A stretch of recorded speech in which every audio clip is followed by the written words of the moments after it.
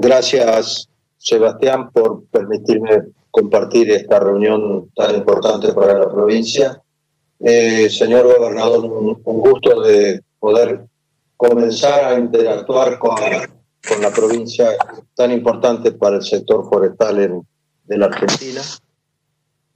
Realmente Juan Gauto ya hace rato que está pidiéndome que participemos un poco más activamente, pero como ustedes sabrán, mi nombramiento apareció recién la semana pasada en el boletín oficial, así que esta es eh, la primera la primer participación abierta que tenemos desde la Dirección Nacional y como corresponde es con, con la provincia de Misiones.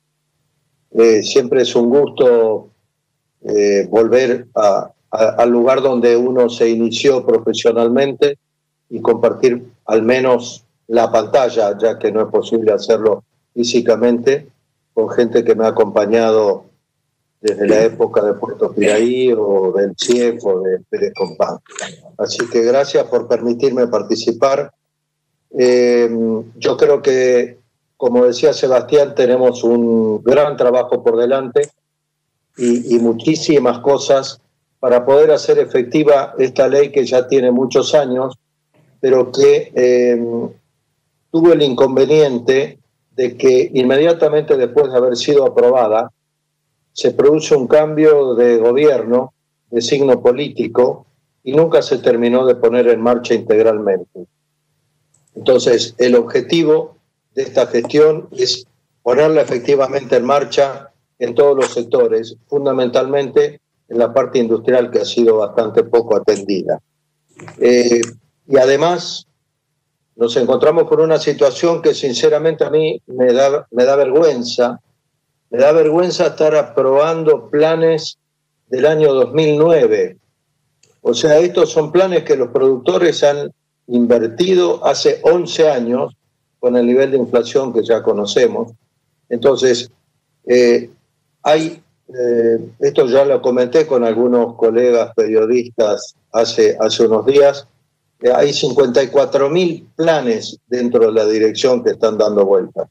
Esto hay que modificarlo en forma inmediata y lógicamente necesitamos una fuerte participación de la provincia para poder eh, realizar todo esto de una manera mucho más eficiente.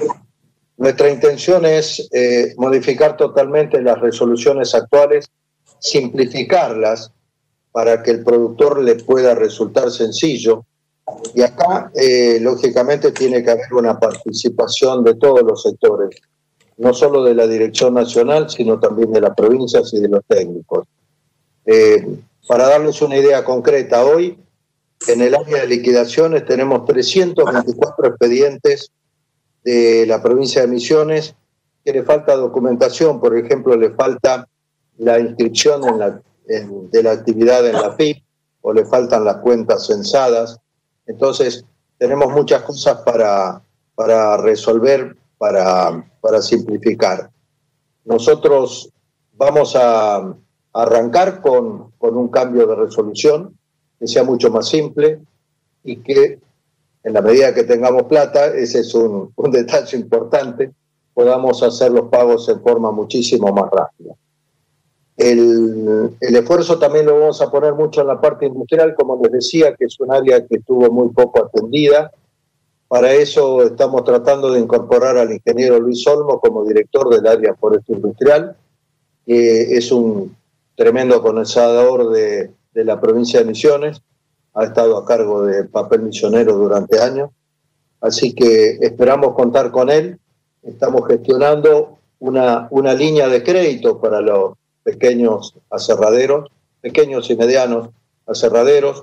Estamos tratando también de conseguir apoyo para eh, instalar más secaderos.